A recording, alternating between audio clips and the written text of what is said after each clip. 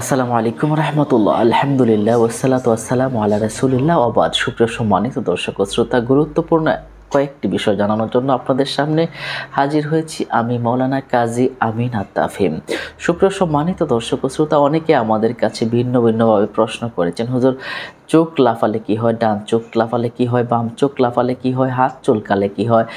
এবং আরও কিছু বিষয় নিয়ে আপনাদেরকে জানাব। অনেকে এরকম বলে থাকে, কিছুক্ষণ আগে মাত্র আপনার কথা বললাম আর আপনি মুহূর্তের ভিতরে হাজির হয়ে গেছেন, আপনি অনেক দিন বাঁচবেন। এই বিষয়গুলো কিন্তু আমরা বলে থাকি। সুপ্রিয় সম্মানিত দর্শক শ্রোতা, Islam is the code of complete code of life ইসলাম পরিপূর্ণ একটি জীবন ব্যবস্থা। ইসলামে সব কিছুই কিন্তু বলা আছে।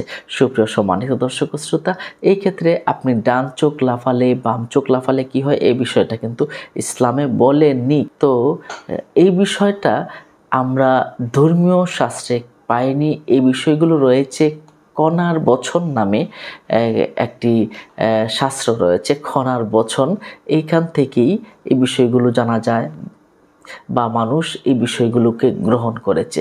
কিন্তু ইসলাম এই বিষয়ে সাপোর্ট দেয়নি যে আপনার চোখ লাফালে আপনি বিপদে পড়ে যাবেন, ডান চোখ লাফালে আপনি সৌভাগ্যবান, বাম বাম চোখ লাফালে আপনি দুঃখ বা কষ্টে বা অশুভ জিনিস রয়েছে, এইসব বিষয় কিন্তু ইসলাম আপনাকে কোনো অবস্থাতেই সাপোর্ট করে না।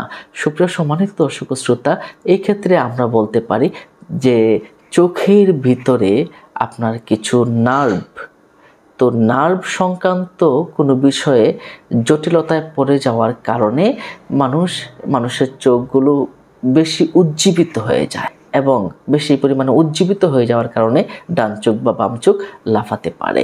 এই ক্ষেত্রে আমরা মনে করতে পারি বা মেডিকেল সায়েন্স যে কথাটা বলে, যদি ডান চোখ লাফায়, তাহলে শরীরে প্রচণ্ড পরিমাণে শক্তি পাওয়া যায়। আর যদি বাম চোখ লাফায়, তাহলে শরীরে শক্তিটা কমে আসে। যার কারণে ডান চোখ লাফালে অনেকেরই মন চাঞ্চল্য থাকে। স্বাভাবিকভাবে মানুষ অসুস্থ হলে একটু তো কিছু খারাপ কিছুই হবে, তার ভালো লাগবে না। শরীরটি একটু খারাপ খারাপ লাগবে। এই জন্য আপনার যখন বাম চোখ লাফাবে, তো ডাক্তারের শরণাপন্ন হন। ডান চোখ লাফালো, আপনি ডাক্তারের শরণাপন্ন হন।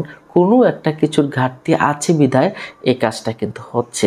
সুপ্রিয় সম্মানিত দর্শক শ্রোতা, কোন কোন কারণে চোখ লাফায়?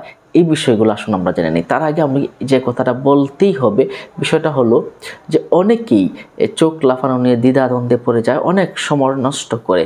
এতে করে আপনার মাথার ভিতরে ঢুকে যাওয়ার কারণে নেগেটিভ চিন্তার কারণে আপনি বিভিন্ন রকম বিপদে এমনিতেই পড়ে যেতে পারেন। সুতরাং এই বিষয়গুলো নিয়ে আপনি নেগেটিভ চিন্তা করবেন না।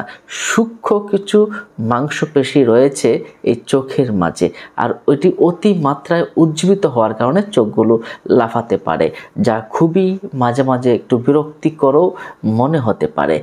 এবং মেডিকেল সায়েন্স এবং ডক্টরগণ যে কথা বলেছেন যে আপনি যে ঔষধ খাচ্ছেন, ওই ঔষধের পার্শ্ব প্রতিক্রিয়ার কারণে অনেক সময় মানুষের চোখ লাফাতে পারে। এজন্য জন্য ওষুধ কি খাচ্ছেন, না খাচ্ছেন, এই বিষয়টা আপনি একটু জেনে নিন এবং বুঝে নিন। অনেকেই দুশ্চিন্তাগ্রস্ত থাকেন। দুশ্চিন্তাগ্রস্তের কারণেও এই কাজটা হতে পারে। রাত্রে অতিরিক্ত জাগরণের কারণেও এটা হতে পারে এবং কম্পিউটার, মোবাইল, ল্যাপটপে বসে আপনি অনেক সময় দিচ্ছেন। এই কারণেও মানুষের চোখগুলো লাফাতে পারে। বিশেষ করে চোখের ভিতরে কিছু পানি থাকে। ওই পানিগুলো শুকিয়ে যাওয়ার কারণে চোখ চুলকাতে পারে বা চোখ লাফাতে পারে। এরপরে আপনি অতিরিক্ত চা বা কফি পানের কারণেও কিন্তু আপনার চোখ লাফাতে পারে বা আপনার চোখ বিভিন্ন রকম ডিস্টার্ব হতে পারে। সুপ্রিয় সম্মানিত দর্শক শ্রোতা, তো এই ক্ষেত্রে আমরা ডান চোখ লাফালে বা বাম চোখ লাফালে চিন্তার কোনো কিছু নেই। আপনি আপনার মতো কাজ করে যান।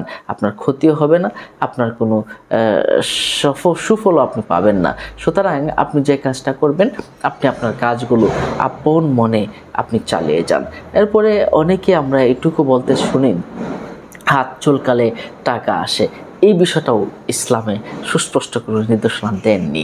তবে আমরা এটুকু বলতে পারি, ডান হাত চুলকালে শরীরের ভিতরে আলাদা একটা শক্তি আসে। শক্তি আসার কারণে এমনিতে তো আপনার ভালো হবে। আর বাম হাত চুলকালে এটা মেডিকেল সায়েন্স বলেছে যে এটা আপনার শরীরের দুর্বলতার কারণ। এই ক্ষেত্রে আপনার এমনিতেই টাকা কিছু অপচয় হতেই পারে, এই জন্য আপনি ডাক্তার দেখাবেন অবশ্যই। আর এইটা আমাদের বদ্ধমূল ধারণায় আনা আনা যাবে না যে এই কারণে টাকা আসবে, এই কারণে এই হবে এই হবে। এগুলো আমাদের কুসংস্কার, এগুলো আমরা বিশ্বাস করব না। অনেকেই এমন হয়, থালা পড়ে যাওয়ার কারণে যে মেহমান আসবে, এটা এগুলো একটি কুসংস্কার। এগুলো আপনি কখনো বিশ্বাস আপনি করতে যাবেন না। আপনারাও আমরা যারা মুসলিম আসি আছি, এই বিষয়গুলো আমরা বিশ্বাস করব না। টিক টিকি ঠিক করেছে, ঠিক ঠিক বলেছে, এজন্য কথা তার ঠিক হয়ে গেল, বিষয়টা কিন্তু এমন নয়। কারণ টিকটিকি তার মানুষের সচল কোনো কিছু পেলে তখন টিকটিকি এমনিতে ডেকে ওঠে। এখনই মাত্র নাম নিলাম। এই মুহূর্তে আপনি হাজির হয়ে গেছেন, আপনি অনেক দিন বাঁচবেন। বিষয়টা কিন্তু একটি কাকতালীয় হতে পারে। তাই বলে যে তিনি অনেক দিন বাঁচবেন, বিষয়টা কিন্তু এমন কোরআন হাদিসের কোথাও নেই। সুপ্রিয় সম্মানিত দর্শক শ্রোতা, আল্লাহ পাক রব্বুল আলমিন আমাদেরকে সহি বুঝ দান করুন এবং ইসলামের পথে থাকার তৌফিক দান করুন এবং বিভিন্ন রকম কুসংস্কার, খারাপ কথা থেকে আল্লাহ পাক আমাদেরকে হেফাজত করুন। আমিন। আসসালামু আলাইকুম রহমতুল্লাহ।